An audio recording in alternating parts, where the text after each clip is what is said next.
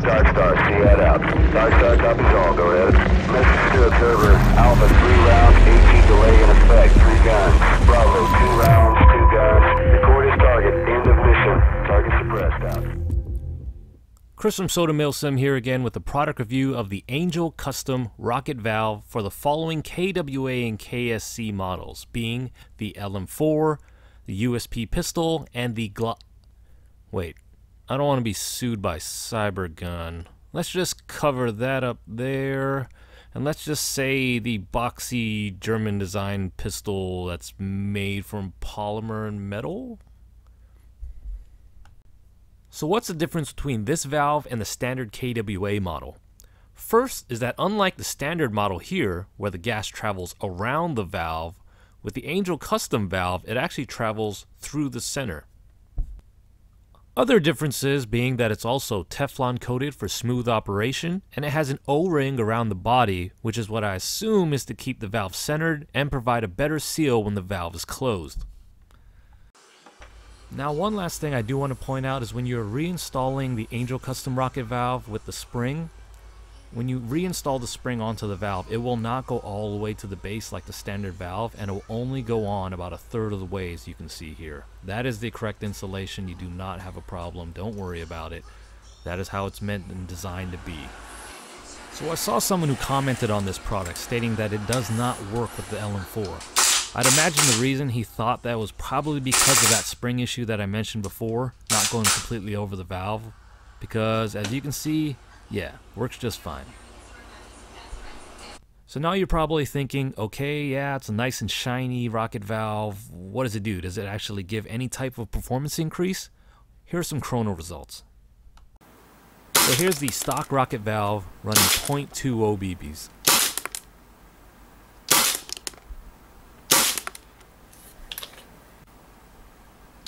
And now, here is the Angel Custom Rocket Valve.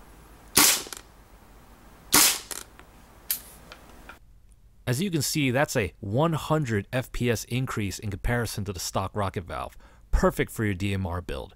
Now you may be wondering, can I lower the FPS if that's a little too high? And yes, if you cut off some of the coils on the rocket valve spring, you can reduce it up to 50 FPS. So if you want to shoot maybe around 450 or so, that is attainable.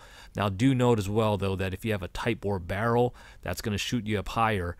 And with the without cutting the coils off the spring and using a tight bore, you're definitely going to be shooting over 500 FPS. So I guess if that's your thing and you are shooting over 500 FPS, you might as well start your collection.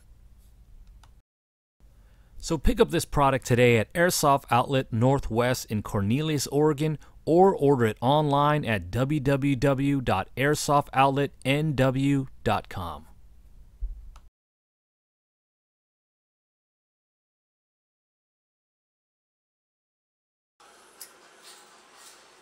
First, we have to remove the bolt carrier group piston stop. As you can see, it comes out pretty easily.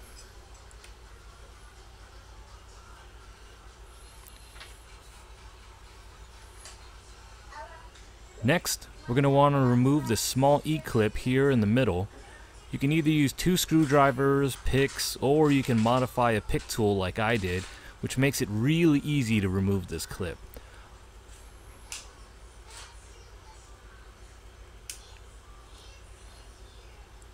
I also magnetize this tool so that the clip doesn't go flying and it actually catches it. Next, just push on the rear of the piston here and pull it out of the bolt carrier group. So here I actually have an AKG piston cup seal. Uh, if you want to learn how to do that, check out Airsoft Outlet Northwest YouTube page for a how-to video. So for the next step, we're going to remove a push pin located here at the rear of the body. Now just use a punch and push it through. Now with your model, it probably likely will not come out this easy. I've, I've done it many times, so it's a little easier to pull out. But all you have to do is just push the pin out with a punch, maybe use a couple of pliers like this to uh, pull it out the other side. Alright, so just go ahead and remove the bolt base from the main body. All you have to do is just pull it right out. Nice and easy, and just set that piece aside as well. Next, we're going to remove this middle pin from the main body. Now do note that one side is larger than the other and can only be removed and installed in one direction. So, back to the punch. Now, as I'm going to show you here, It is in there very tight, so very unlikely that you're going to get that out by hand. But just go ahead and get a small hammer or even that set of pliers that you used earlier. Just give it a little tap here.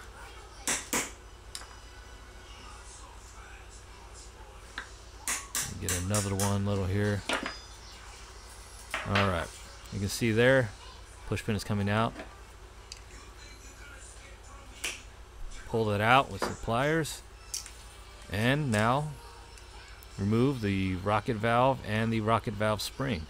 Now just reverse the procedure for the Angel Customs valve and you're good to go.